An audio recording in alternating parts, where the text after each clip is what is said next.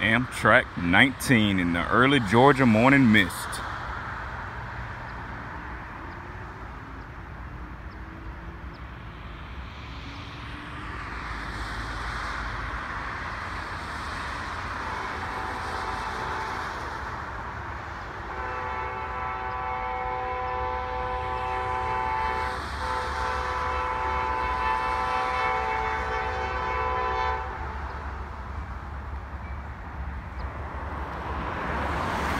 Here she comes right through the fog.